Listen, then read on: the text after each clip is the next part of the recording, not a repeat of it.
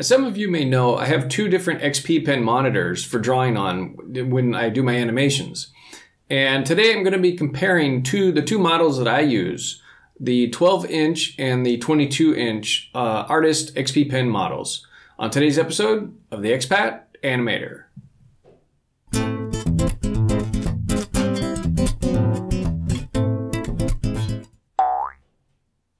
Hey, it's Patrick. Welcome to my Expat Animator series where I try and help beginners, hobbyists, and independent animators create 2D animations. So, like I said, we're going to be comparing uh, XP Pen two different models, uh, and specifically for use in 2D animation. And those two models are the 12 inch and the 22 inch models. And let's go ahead and take a look at the Artist 12 Pro which is what I've been using with my work computer. And uh, the other model that I'm going to be talking about is the XP Pen Artist 22E, which is an older model that I bought in 2015. And uh, I actually use that for animating pretty much every day as well.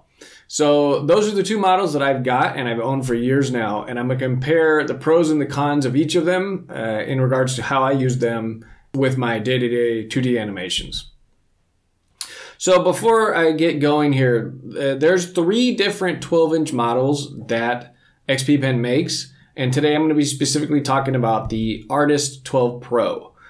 And when you get into the 22 inch models, XP Pen actually makes six different models. And I got the Artist 22E, which I believe is only the second 22 inch model that they made behind the regular Artist 22. So again, that's the older model that I've got. And uh, just to give you an idea of what I'll be working with. So the 12 inch pros, let's start with the 12 inch, uh, basically because of the portability. And that's the main reason I bought this uh, because I'd already had the 22 inch and I was it was working fine for me. But I wanted to have something for on the road where I could take my laptop and a portable XP Pen mon- monitor to do some drawing or animating on the road.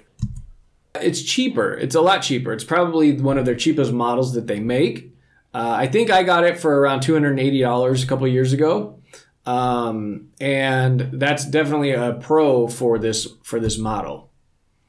Uh, it's got better cable management than the 22 inch for sure. So you've just got the one USB-C cable coming out of the side, uh, but that does split into three different uh, cables. But what you don't get is you don't have the uh, the, uh, the power brick. So you just have three cables that you have to deal with and it's a lot better. It's a lot easier cable management with this model. Uh, it does have the scroll wheel, which I I, I use it, but I don't use it all the time. Um, and I don't want to get uh, too used to using it because when I switch back over to my 22 inch model, which doesn't have the scroll wheel, uh, I don't want to be, you know, reaching for something that's not there. So I try not to use the scroll wheel a ton, but I do like that it's got it. Uh, this model, the Pro model, has the laminated screen, so you get that uh, uh, your pen gets closer to the actual pixels, and the 22 inch model does not. So that's definitely a plus uh, that I prefer drawing on the 12 inch versus the 22. And the pen that it comes with doesn't have a battery, so you don't have to charge it. And uh, which is not the case with the 22 inch model that I've got, where I do have to charge my pen. So that's kind of an inconvenience that uh, the 12 inch gets to avoid. And uh, it's definitely got better colors on the 12 inch. It's probably because it's a newer technology, a newer screen um, than the 22 that I've got. But uh, it's definitely nicer to have more accurate colors uh, than what I get on the 22. So now let's talk about the cons of the 12 inch. And uh, the first thing that I want to say is that the stand that it comes with, uh, it's not great. It's it's plastic. It, I, I, like that they gave you a stand, but um, it's only got that one angle on it, and it's not the best angle for your neck. So what I've been doing is um, I got a different stand uh, from Parblo, but get your. I would recommend getting your own stand uh, for the 12 inch if you if you've got one. Uh, there is no USB C to USB C functionality on this model that I know of. I've tried hooking up USB C uh, cables to my computer. So you just get that one cable going uh, from the monitor to the computer, but I don't, I don't think it works. It doesn't seem to power it, uh, and so you need to have that proprietary cable um, to make this work. Uh, after using it for probably about a year, my model got like a light spot on the bottom center of the screen. And it's not huge, it's like maybe like a couple inches wide and half an inch high or something. But it's something that's a little annoying. Um, it's just got this weird bright spot on the bottom of the screen. But once you get going, you don't really notice it, and um, it's not that big of a deal. The screen it, at 12 inches, I think it's actually like 11.6 inches diagonal. Um, although it's great for portability, it's probably too small for 1080p, which is uh, the the resolution that this monitor runs. Um, you can kind of get used to it, uh, or switch the resolution to a little bit higher, something like you know 720p or something. But um, for using it all day long, it's a little too small uh, for for for me. So uh, I would say that that's a con um, for the pixel resolution uh, for the size of the screen. And uh, the monitor could be brighter. I've got mine all the way up at the highest brightness. Um, I'm not sure what the exact nits are. It's probably like 200 and something. I don't know. But it's not that bright. And when you've got it sitting next to a regular monitor, you definitely see the difference. Okay, let's talk about the 22 inch uh, Pros. So basically, it's got a really big screen, the biggest screen I've ever had to draw uh, and animate on. And that's like the best thing about this monitor is I love the screen size. But uh, and it, actually, it also has a really good stand. So the stand lets you, um, it's just got a little pull tab on the back, and you can almost go all the way flat with it, and it'll go almost all the way straight up. So you could just use it as a regular monitor if you wanted to, and then when it's time to draw, you just angle it to a, a good angle for you, and you get going. So really, uh, two great things uh, about this model that I like. Uh, so it came with two pens, which I like. Uh, the pens are battery powered, which means you have to charge them occasionally. I don't really have to charge them that often, uh, but I liked it. At least they gave you two pens. So like if one you're drawing with it and it runs out of battery, you can just switch to another pen, and hopefully that one's charged up, and uh, and keep going. Uh, this model has uh, eight function keys on each side, so 16 function keys total, and the software is pretty easy to switch those up to um, you know anything that you want to use them for. So that's a that's a bonus because it got twice as many function keys as the 12 inch model.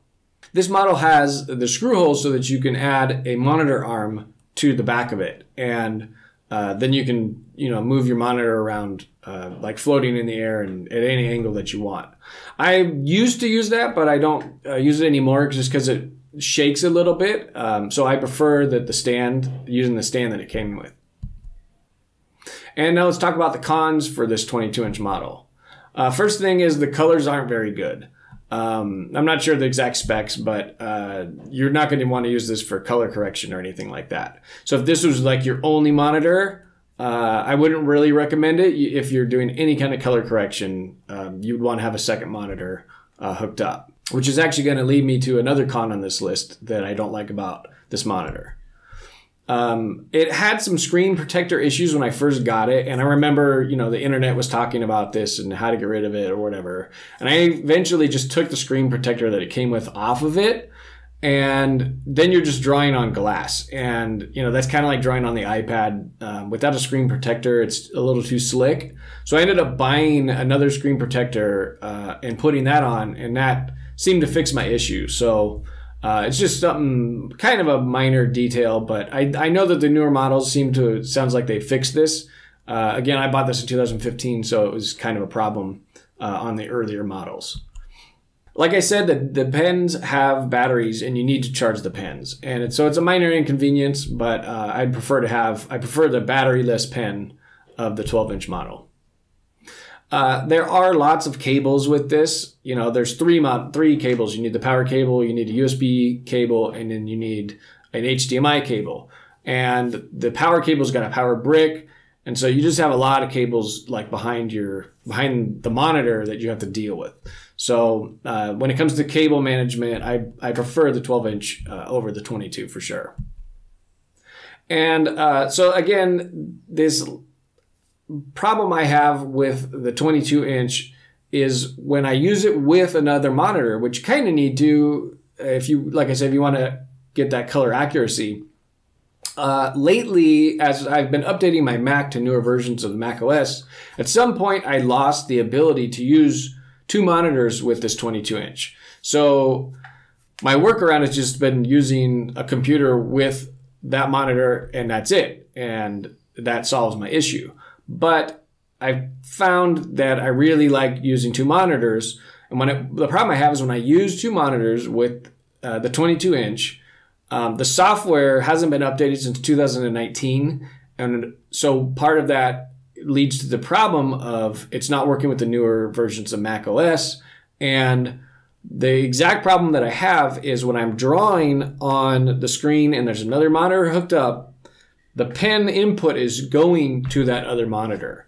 And you can go into the software and try and like um, remap it to the other monitor, which is what the newer versions of the software do.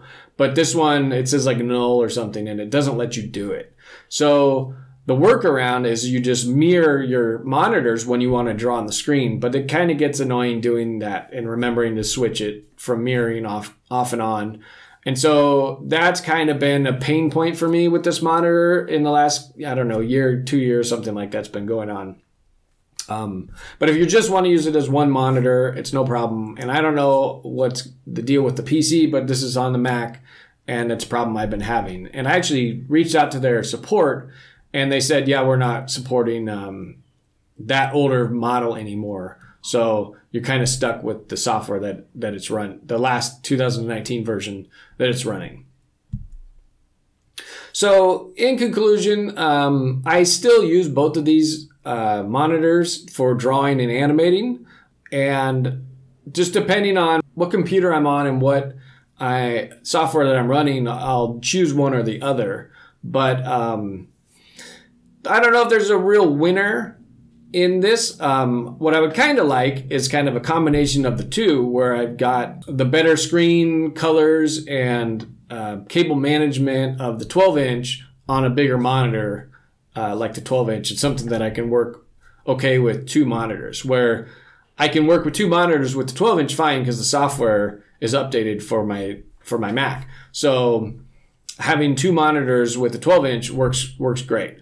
So again, uh, it's probably just a problem I'm having because the the 22 inch is so old that you know I'm kind of getting to the end of its life, maybe, uh, or just you know it's not as useful as it could be.